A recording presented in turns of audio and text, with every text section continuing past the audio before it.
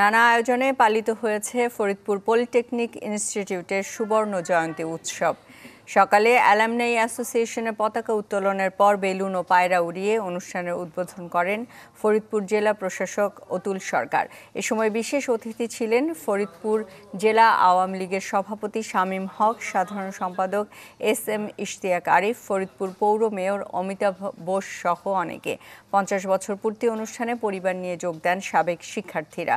সারাদিন আনন্দ ঘন পরিবেশে পুরনো সহপাঠীদের সাথে সময় কাটান তারা। আয়োজনের মিডিয়া পার্টনার ছিল চ্যানেল টোয়েন্টি